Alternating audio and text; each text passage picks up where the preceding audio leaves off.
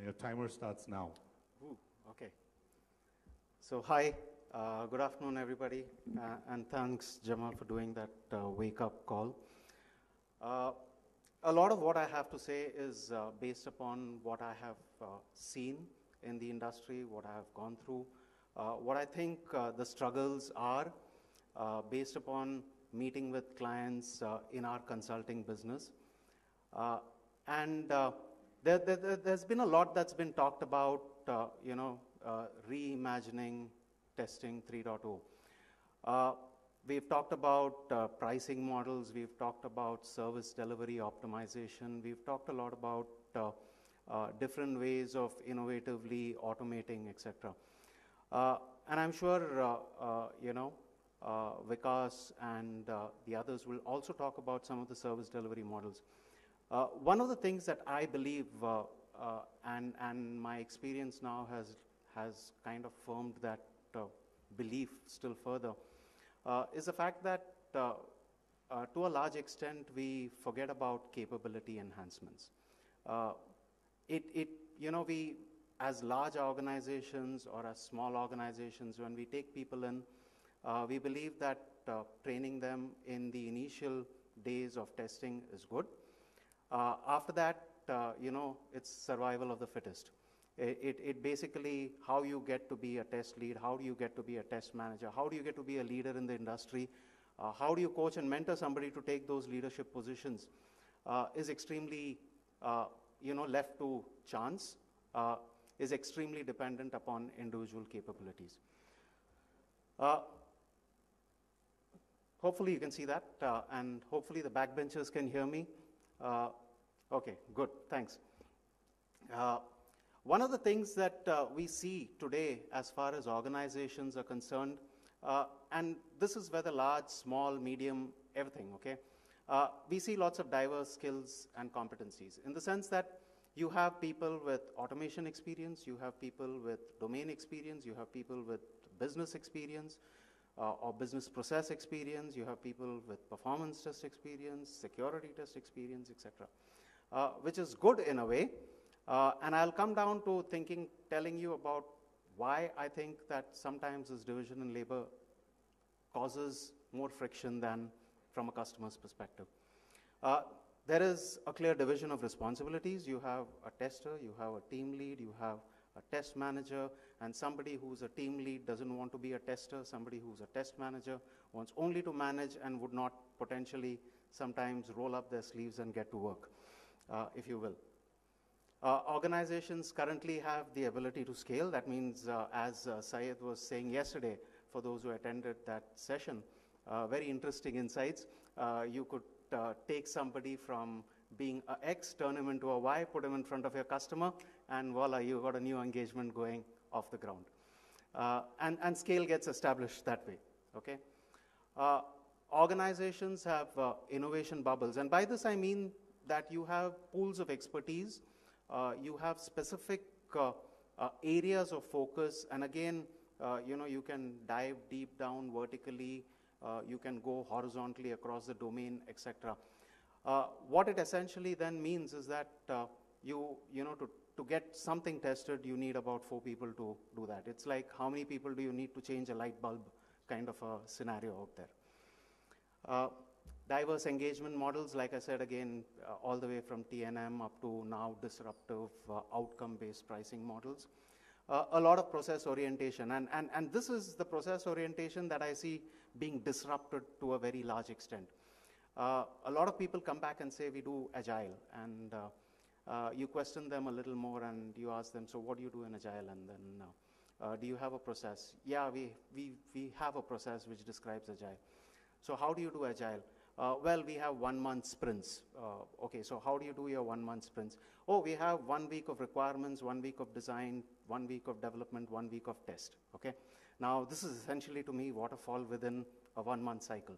Uh, and, and, unfortunately, uh, agile, the way it had been quote unquote uh, theorized, uh, in practice, given the way we as service providers deliver our service to our end customers, is a completely uh, a different animal.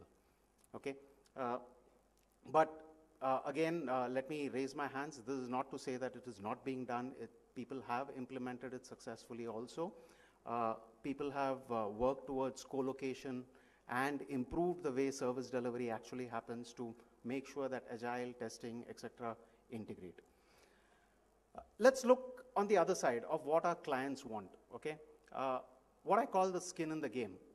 it can mean different things. It can mean the way you are now hooked to your clients or your clients want you to, uh, to, to, you know, to respond to and, and potentially take risk in whether their business is successful or not.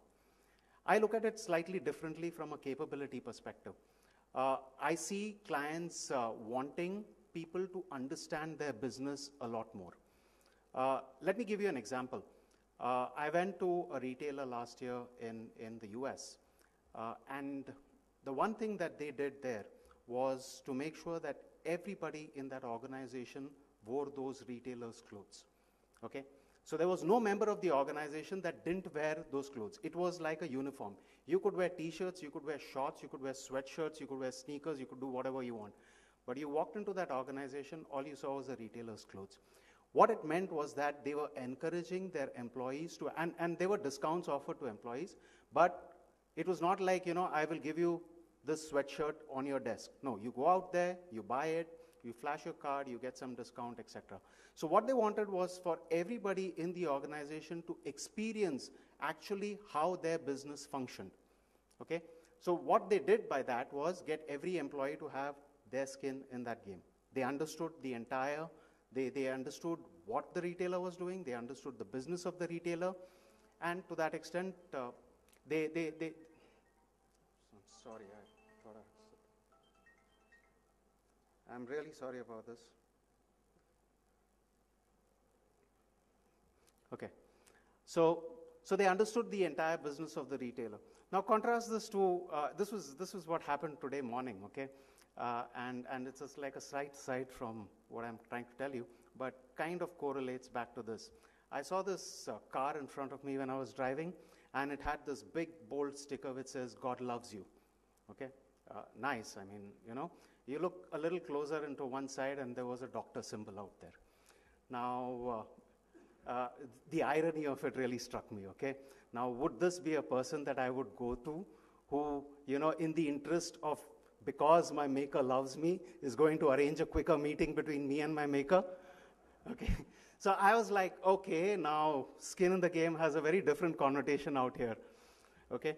So uh, so, so essentially, the key thing is that customers want you to feel their pain, customers want you to understand their business, and customers want you to now take ownership for how their business moves ahead. What they want is obviously execution excellence. Nowadays, in the world that we're living in, uh, you can plug out a service provider, plug in another service provider, and people are willing to take that risk with a small blip in their uh, you know, potential targets and still think that the service can be delivered to the levels that they were before. Customers expect a solution mindset. I have a problem. What is your solution?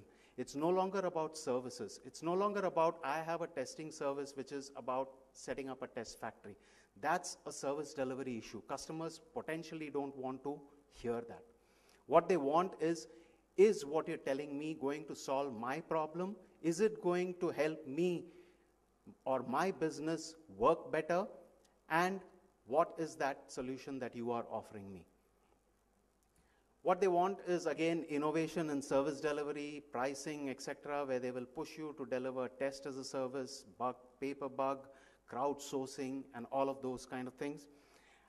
Lastly, I think what they really want is you to be ahead of the knowledge curve. Why do customers value you? Now, this is where the question of the value that you will generate to the customer really comes in. In terms of saying, I understand your business, I know what are the potential roadblocks and hindrances in your business. I can potentially test and make sure that your business will survive. That is what customers want to understand. And I know where your business is headed so that I, as an organization, can make sure that I am prepared to take the next leap with you.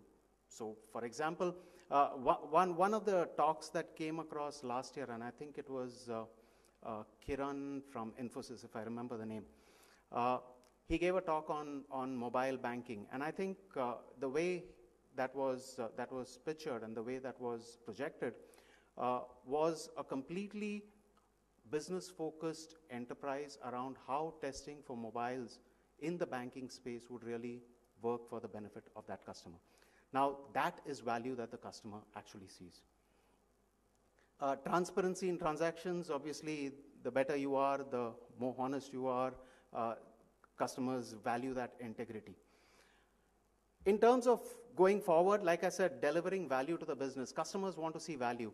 My experience has been customers will not shirk paying value if they believe what they are getting is not a commodity service. If you are saying that the only thing that I can do is really optimize only on my delivery, you're just playing a price point. You're playing a $10 versus a $15, and that's about it. Your capability stays at one level, which means that you could take organization A, plug in organization B, and you'd still be the same. And that leads us to the next point about you yourself being a commodity service. In, in terms of testers, I see that capability also stagnating at a particular level.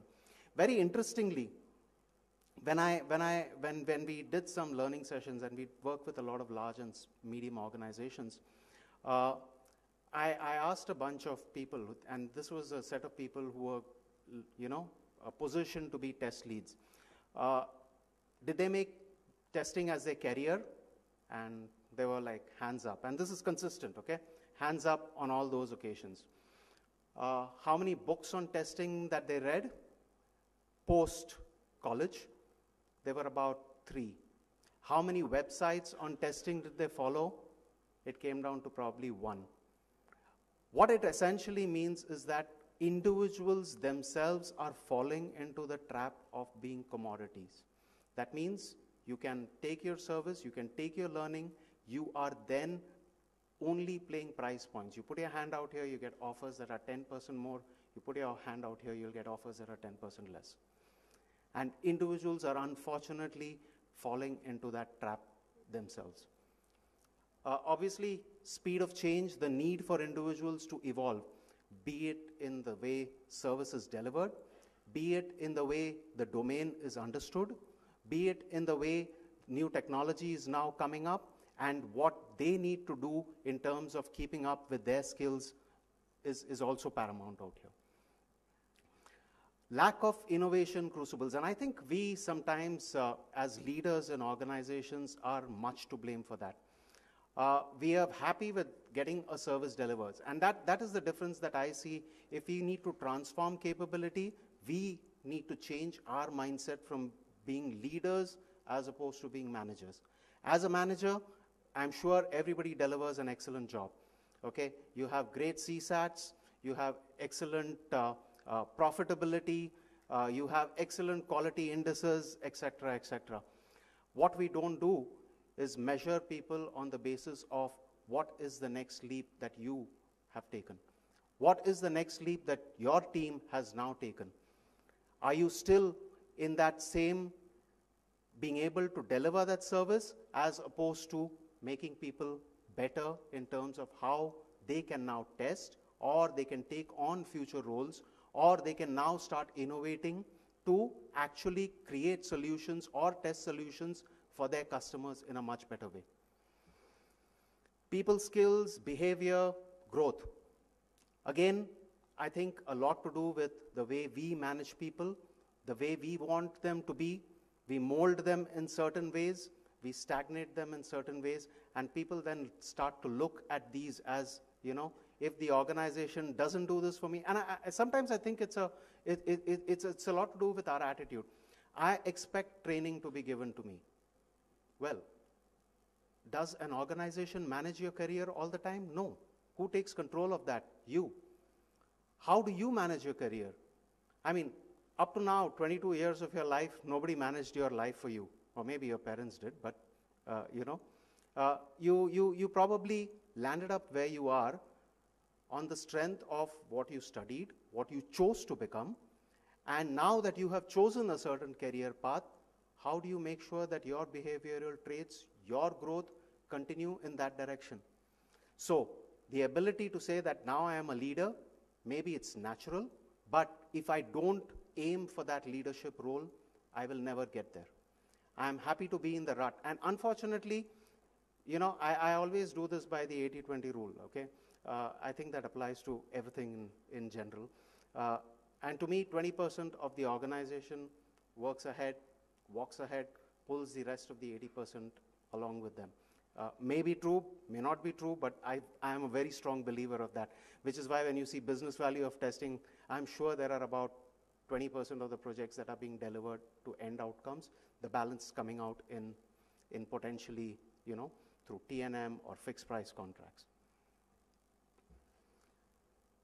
What do we need to do differently? I think, and this I believe comes from every one of us. I think we need to wear two hats. We need to wear a strategic hat, in which case you are trying to look at what is it that I see either for myself or for my organization going forward. What, and, and then there is the transactional hat where you manage people, okay? Uh, so unfortunately, we can get caught in that trap of managing people, managing leads, which is why the core, you know, the term team lead becomes extremely important to the guy below you because that's the trait he's been exhibited to. I mean, that's the trait he's been shown. If I am a team lead of this level, of this rank, and that's what I want in my appraisal, nothing else. I don't care whether I've done a great job, I put in my five years, I want that stamp. People need to be ready to inspire, to motivate. It's not an easy path to go down. Taking testing, and I'm sure that there is a lot of learning that each of you all have out here uh, in terms of service delivery models, in terms of automation models, in terms of pricing models, some of which you will apply, some of which you may not. But you would then choose what you will need to apply and then take your organization, your team, and yourself up to the next level. Again, disrupt to innovate. Uh, it's easy to do the same thing over and over again. As a tester, yes. As a lead, yes. My question then, in terms of all of this, is do you have it in you to challenge the status quo? Do you have it in you to set yourself innovation goals in the work that you're doing rather than just improvement goals? And here I mean, I have set myself a CSAT of 4.2 to 4.3 or 4.5 or whatever. That's an improvement goal to me. Okay? But I have taken my team up to the next level of customer confidence. That is a difference. That means the customer believes that this test team is the best that he's ever got. There can be no better uh, team that he can get which can add value in terms of, of, of their domain expertise, in terms of the techno- technical expertise, in terms of the coverage that you come out with. And they are advising me as opposed to telling me, you know, this is what I have done, and me telling them. And unfortunately, most of our engagements are that way. My customer didn't tell me this. Okay, so I don't think I need to do it. But do you think you need to go back and tell your customer something? Uh, yeah, but then you know you don't get those opportunities. Well, the opportunities are for you to create if you need to make that next leap. Again, I say set capability enhancement goals. It's easy to gain, you know, pockets of skills. It's easy to say he's a specialized performance tester, he's a specialized security tester, etc. But as a whole, have you gone up in terms of the excellence that you have. Excellence can be measured in any dimension that you think. I, I, I don't think there are any standards, nor do I think you need to look out for standards. You need to say, this is a level of excellence that I have within the team. What do I need here? And measure it in whatever way you think is best. So I will leave you with these final thoughts. I'm not going to go out there and explain it. I think this is down to 45 seconds, but uh, anyway, uh, I think what we really need to look at are leaders. Don't get transactional, think strategy also. And I know that is going to be tough. It is extremely tough trying to say, this is the strategic roadmap that I need to go on while you're attending 10 customer calls in the day two. Okay? It's, it's not easy, but you just, if you are the leader, you just need to find the time to do that. And the thing that I would really, really encourage you to do. And I have seen this because uh, uh, in all of our uh, uh, uh, interactions with a variety of people that we've seen, is that the leader as a motivator, the leader as a mentor, comes far low in the value chain, comes extremely low. So when I talk to testers, I say that I can't go and talk to my boss. Since why? Because it might look bad, it might look uh, negative, it might look, uh, you know, that I am not doing my job, and uh, unfortunately, therein lies the nub between what leaders should do versus what is expected of them. All right. Okay. Uh, so thanks and happy to take any questions.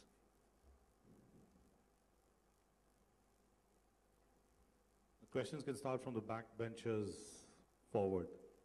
Yeah, please, ma'am. Yeah. Uh, Good afternoon, Divaka. My name is uh, Shrikala, and I'm from Bosch. So this is my second question for the day. But uh, uh, see, from what you said, uh, as an in, I'm currently the test manager of an independent uh, testing team. So we cater to different types of internal customers within Bosch. And Bosch is a legacy organization, right? So uh, as much as we're given the freedom to innovate, it is always within a box. So there is a framework, and especially because it is that old and that successful, uh, if you will have to put forward an innovative idea, you'll really have to fight a big battle. Because they say, oh, you know what, no, we've, we- we've lived this long, we've done this successfully for so long, so it will run, don't worry. So can you shed some light on how do you think we could come over this particular barrier? Well, uh, sorry. Okay. Uh, one thing to do with fighting those battles, okay? It's not an easy path. Nothing on this happens overnight. Let me be very clear about that too, okay? But if you have a vision, if you think that this is what I want to do, you will find the supporters that you have who will then support you or champion your cause and then take you up to the next level. I think there are two things that you need to do, and this is what probably management textbooks also tell you.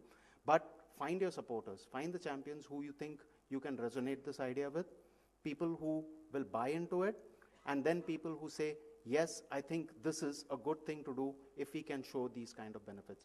I have yet to see anybody who has said that when you articulate benefits and when those benefits are visible, palpable, it's, it's not like wishful thinking, okay? You say that, yeah, I can increase morale, okay? I mean, that's a very different way of saying, I can improve this by X factor. That is what makes it more palpable.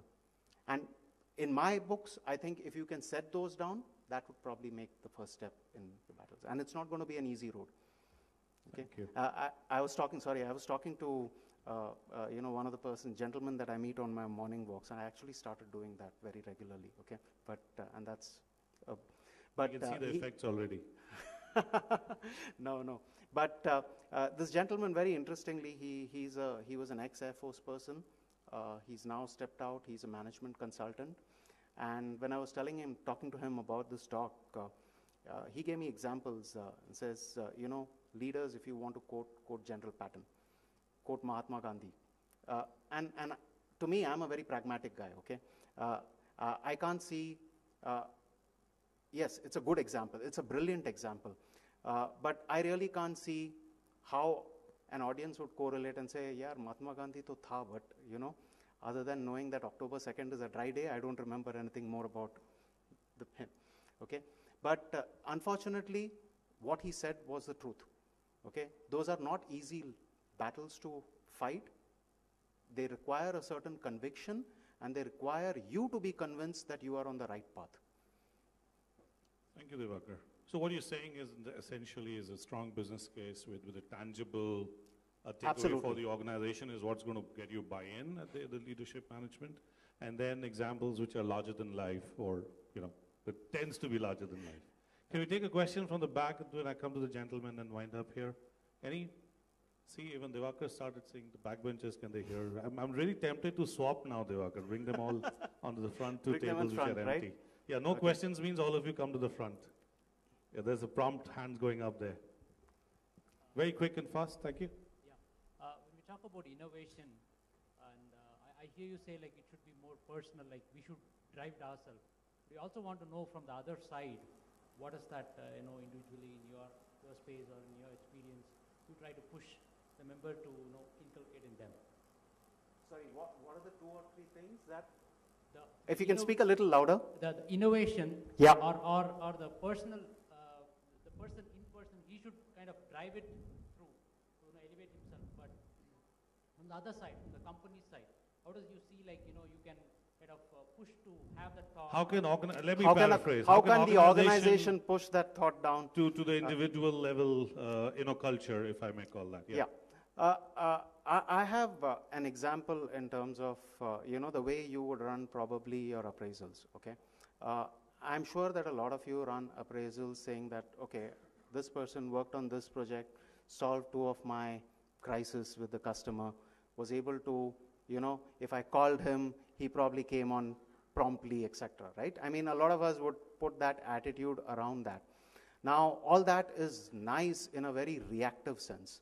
Uh, and, and you have a lot of people who, who are great workers, will respond to you, will, will you know, uh, will, will make that difference between how you deliver, for example. Uh, when you start looking at it from that one perspective, then you're just ticking off his transactional skills to that extent. When you start looking at saying that, okay, I think you are on the right path towards or on the right trajectory of growth, but not just transactional, these are two or three areas that I would like you to focus on. Be it building tools, be it you know looking at customer solutions, be it in the domain, be it uh, uh, you know in the way they come out with different pricing models. Uh, I think I think that is what is important. Maybe what you need to do is set yourself five high level, you know what they call the big, hairy, ambitious goals in, in typical parlance, and say how or who will go up there to achieve those for you and, and then measure people on how do they do against that. And uh, you know, you may not uh, you may not want to tick them off completely, but then that's a way that you can inculcate certain different traits into them. About capabilities enhancements. Uh, well, though every organization realizes that uh, people are the greatest asset, uh, but the business dynamics in the recent past have been such that uh, you train people, you build up people, and then uh, you send them for trainings and all. But at some point of time, when the business, business needs are there, that takes a step back. So during the current economic scenario, also and going forward, what do you think the concrete steps can be taken, particularly on capabilities enhancements? Okay. Uh, so I think. Uh, A really a- short one, Diwakar, I really Sorry, yeah, I give, it, give me a quick moment, okay? Uh, I think uh, downturns are when you can really take stock of what you really need, okay? To be very honest. Uh, that's when you really look at your skills and say, oh, you know what, I'm really missing A, B, and C skills. Uh, it could be either in leadership, it could be in domain, it could be in technology, it could be in whatever.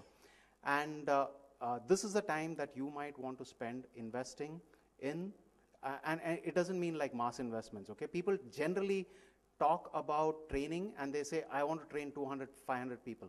It's not that you know? It doesn't need to be 200 it doesn't need to be 500 but it needs to be those core 10 or 20 that you can really focus your attention on that you think will take you up to the next level. We can discuss this later. I have uh, Thank you, thank you, Diwakar. And a Thanks. great,